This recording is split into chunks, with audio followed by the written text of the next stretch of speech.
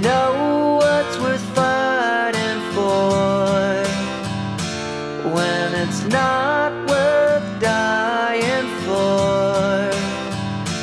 Does it take your breath away and you feel yourself suffocating?